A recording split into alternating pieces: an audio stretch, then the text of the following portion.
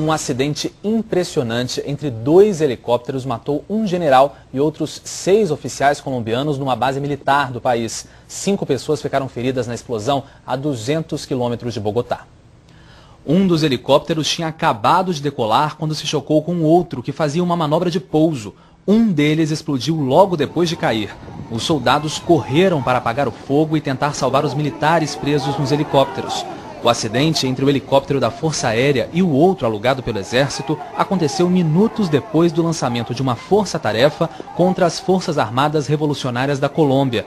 O objetivo da operação é capturar ou matar o guerrilheiro conhecido como Alfonso Cano, o principal comandante das Farc. O presidente colombiano Álvaro Uribe, que participava de uma reunião em Cali, pediu um minuto de silêncio à plateia.